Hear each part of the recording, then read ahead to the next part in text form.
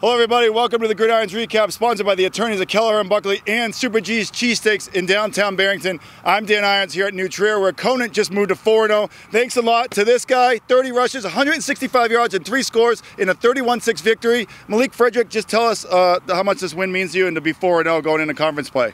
Um, I mean, this mean this win means a lot to our team right now. I mean, after last year going losing the third game to Evanston, just finishing um, non-conference all 4 and 0 It's just a really big step in our program and showing how far we're turning things around.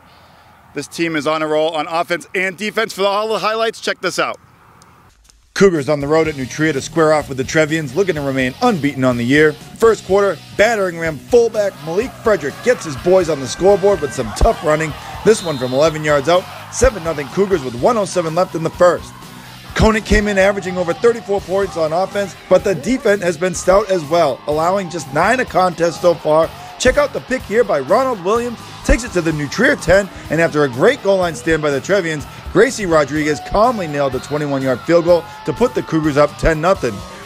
The score would stay that way at the half thanks to stellar plays like this from Dom Mayorello. Nice sack here. Cougars would get the ball to open the third. And boy, did they open it up in style, navigating down the gridiron on a six minute drive that culminated in Frederick's second score of the night, a six yard TD that made it 17 0.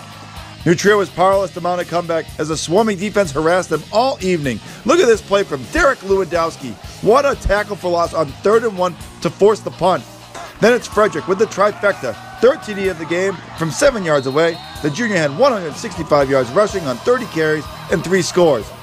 Time winding down in the fourth, Cougars with a fourth and fourth at Trevian 29, and Jeremy Carrell takes it around the end to put the exclamation point on a near perfect night for the visitors.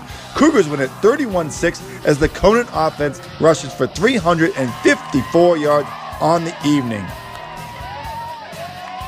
Well, hey, that's all from New Trier. And hey, one more thing. If you haven't tried Super G's cheesesteaks, you gotta try it. Uh, lots of new exciting things happening at Super G's Cheesesteaks. Super G's is now open until 9 p.m. on Thursdays through Saturdays and also open on Sundays from 11 to 6 p.m. When you go there, ask them about their new customer rewards program to get free menu items for being a loyal customer. And let's not forget, they are now catering for corporate events, private events, and for your game day watch party. And for Gridirons, I'm Dan Irons.